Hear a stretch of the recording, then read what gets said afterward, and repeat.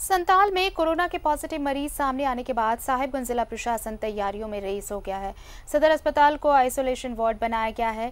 वहीं राजमहल अनुमंडल अस्पताल भी इसे लेकर पूरी तरह से तैयार है। प्रशासन का कहना है कि हर तरह के कंडीशन के लिए ज़िले में तैयारी पूरी है।